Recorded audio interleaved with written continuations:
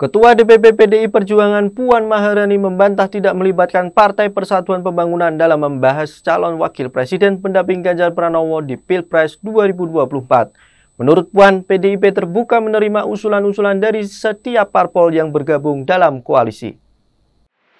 Meskipun Ketua Umum PDIP Megawati Soekarno Putri menyatakan penentuan cawapres Ganjar ada di tangannya, Tak hanya parpol koalisi, kata Puan PDIP juga akan mendengarkan masukan dari Ganjar Pranowo terkait cawapres pendampingnya.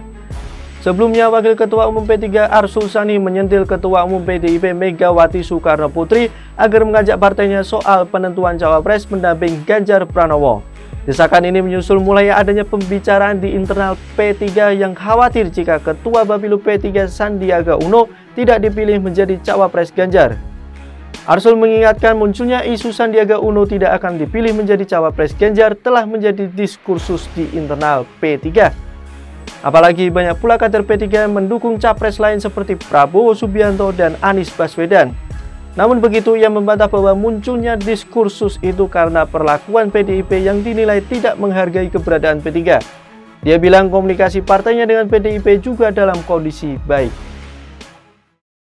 Jangan lupa follow like, dan subscribe sosial media Tribun Jateng.